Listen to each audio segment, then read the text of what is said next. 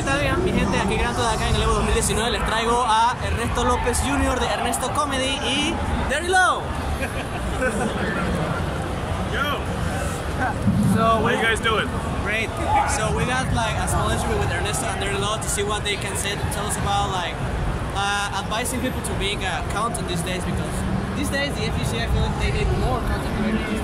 Yes, definitely, definitely.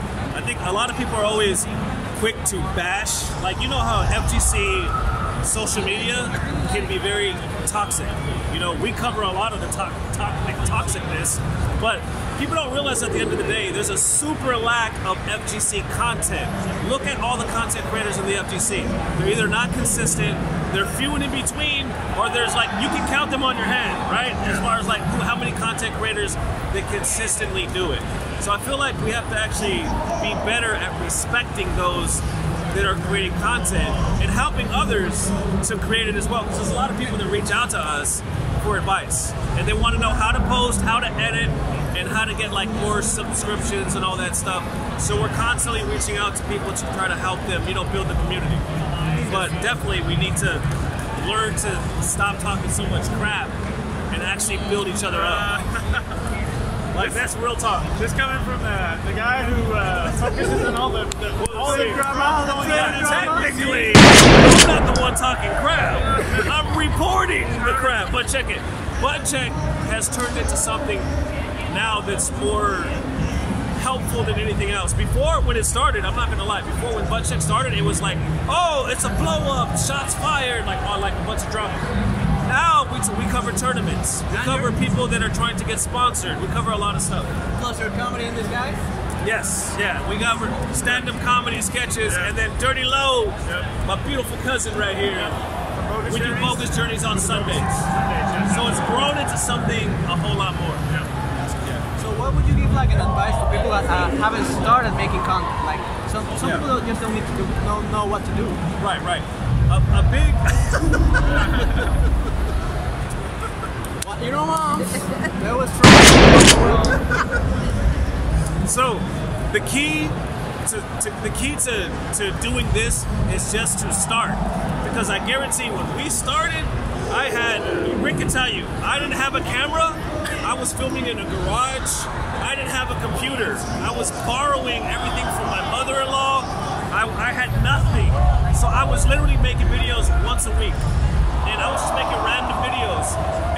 I them. I got like maybe 20 views, maybe 50 views, and then the more I did it, the more I learned.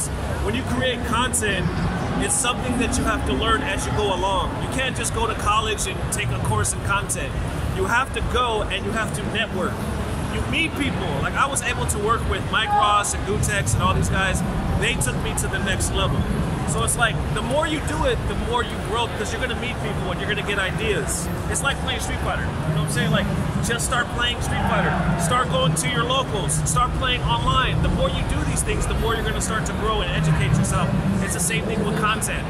Yeah, you start. The more you put yourself out there, you're gonna grow. And a lot of people DM me too for advice. I'm here. If need any questions or anything like that, I feel like we have to build each other up. No matter if you're Mortal Kombat, Tekken, Street Fighter, I don't care if you play Melee, Smash, whatever. Like, it's all the same in the end. We're all trying to build our scene. Well, thank you, uh, Yeah. Ernesto, for all the good advice. Thank you, sir. Thank you, Dirty Lo, Thank you, I appreciate it. being Dirty Lo. So, would you guys like to send some shoutouts to the Panama scene? Yes.